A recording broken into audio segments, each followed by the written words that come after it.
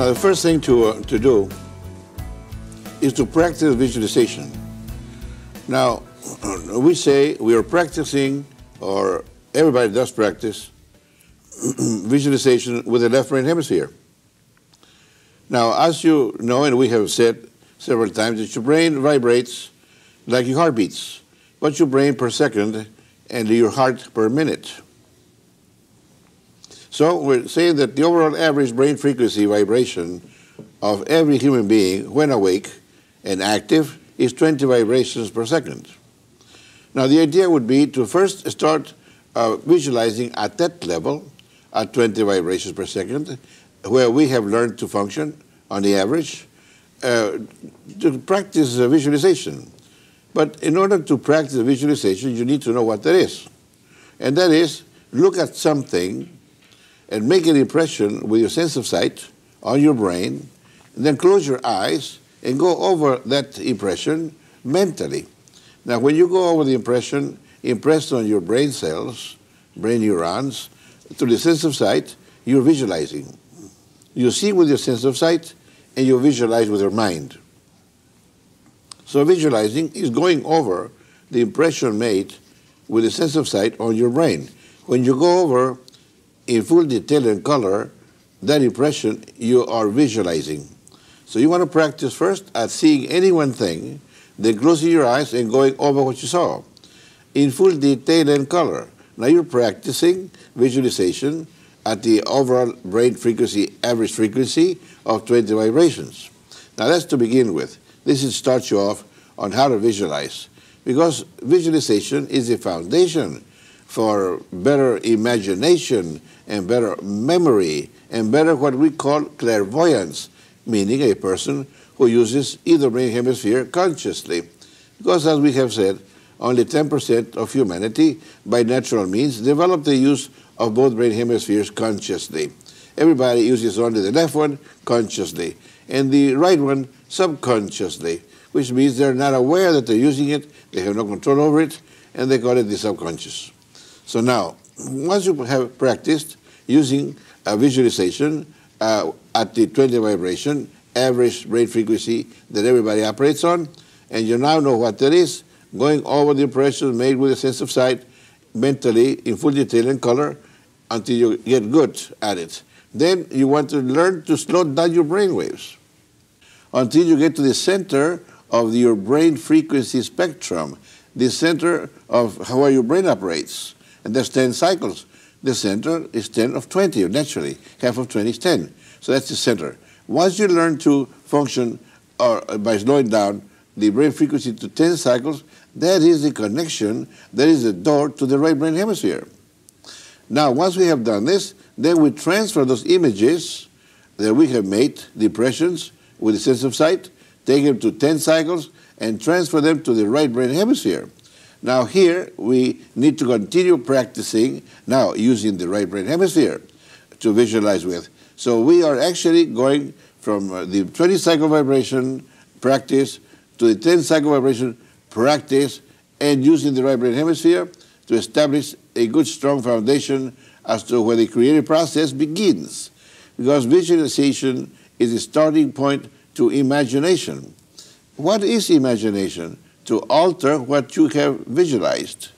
Uh, let's say, for instance, you have visualized a table with four legs. Well, mentally, with the right brain hemisphere, you add two more legs on it. And mentally, see the picture of a six leg table now.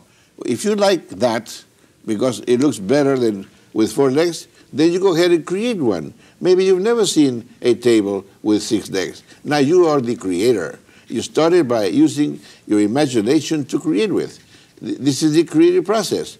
Begin using your imagination. So you modify images, alter them, like uh, a four-legged table, add two more legs to it, or maybe here you create something with your mind. You see, your mind is very creative at this level. You can create something that you've never seen before.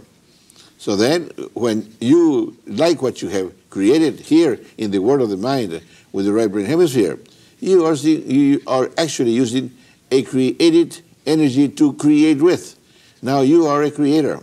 You are an inventor. Because then you take that image, to the left hemisphere and bring it out to 20 vibrations, then put the boards together, uh, you do your carpentry, and you have a table with six legs and looks a lot better than one with four. This could be the case. This is where inventors get their ideas. You see, Einstein did not invent the formulas. Einstein uncovered them, discovered them in this dimension. It is believed that all inventions are not uh, really inventions, they're discoveries of maybe something that's going on in other planets or other solar systems or other galaxies more advanced than ours. We trail it behind. We get those thought transference, ideas into our brain and mind, but at the right brain hemisphere level, then bring them to the left one and execute what we have received, perceived, and we are creators or inventors. So we start using visualization, enhance that, then take it to the proper dimension of brain activity, transfer it to the right brain hemisphere, continue practicing visualization, then start practicing imagination. And then once you do, then you have better memory, better recall ability, better retentivity of information, that's what it means, and then better clairvoyance. A person who uses either brain hemisphere is called nowadays a clairvoyant. So you become a well-developed clairvoyant by going through all these steps.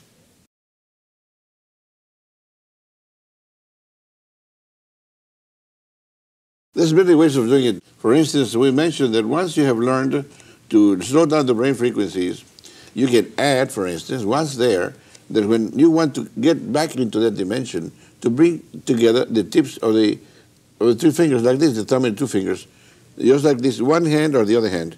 Now, when you are at your level, meaning you have found the 10 cycle brain frequency vibration, you go ahead and tell yourself that this and this will keep you an, a, aware at that dimension. Meaning, say for instance, a teacher is uh, lecturing, and uh, before you go to the lecture, you go to a level and tell yourself, I want to impress the lecturer strong in my mind and brain so that I can record it anytime in the future with the same technique. So when I'm going to listen to this teacher, uh, I'm going to keep my fingers like this while I'm listening to the person.